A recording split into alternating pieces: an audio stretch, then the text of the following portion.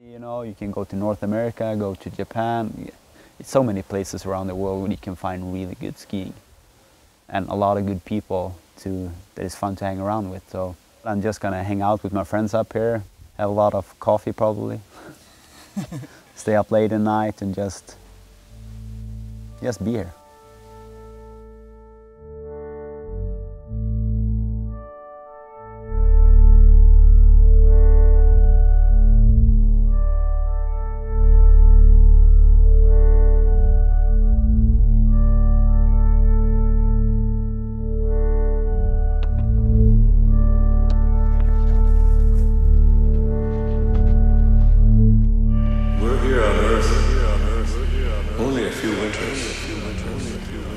Then we go to the spirit world.